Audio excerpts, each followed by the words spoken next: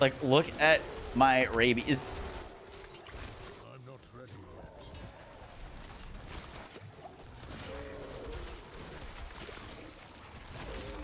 Yo guys, what is up? Max here in our Diablo 4 video, and today I just wanted to quickly go over some new leveling tech so that you can level up your Druid as fast as possible. Now, I put out a Lightning Storm Rabies leveling guide yesterday uh, in the hopes of uh, working with this new aspect that reads when rabies infects an enemy, reduce its cooldown by 0.3 seconds. This cooldown reduction is tripled when affecting elite enemies. Um, this turns out that it's better than I ever could have imagined it to be. Uh, it is a utility aspect, meaning that you can't put like you can you have to put it on your like chest uh, or your helmet or your boots. Uh, you can't actually put it on your ring. You can't put it on your weapon. Uh, you could put it on your amulet. I just don't have the resources to put one on my amulet. Uh, but this is a very basic min roll, uh, and I just want to show it off in Domhainne tunnels uh, and why this is going to speed up your leveling so much.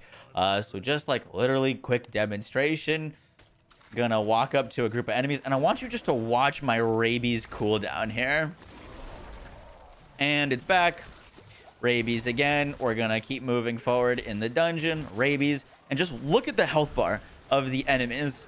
Rabies again. Keep walking forward.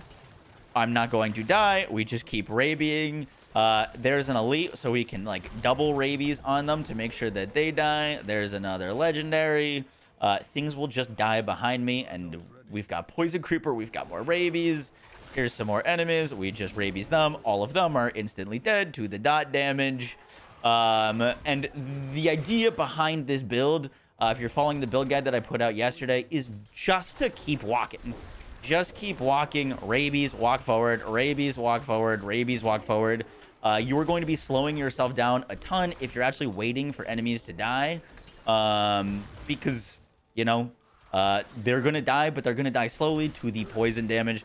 So basically, you just walk forward, keep rabiesing, rabiesing, and uh, this is the fastest I've ever leveled currently uh, on Druid this season. Like even faster than like the poison creeper stuff uh, back with landslide. So yeah, that's basically the dungeon complete. There's a few like stragglers, but I just wanted to show this off for you guys because it's really crazy.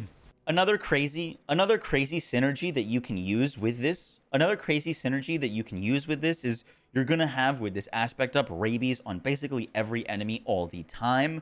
Um, then you're going to want to come and grab one point into neurotoxin. This is going to make poison enemies slowed. Um, and then you can come over to this dungeon, uh, Champ's Demise, and get the aspect of the Umbral. Aspect of the Umbral is going to give you one re primary resource when you crowd control an enemy. When you're crowd controlling an entire dungeon with poison spreading everywhere, this is going to give you so much resources uh, early on for your like lightning storm builds if you're following my guide or whatever kind of build you're going for. I think this rabies tech, even if you're doing pulverize, uh, you're going to want to use. It's going to give you so much resource. It's going to give you so much free damage. Uh, and I really just don't think that there's a better way to be leveling Druid right now than messing around with this rabies aspect.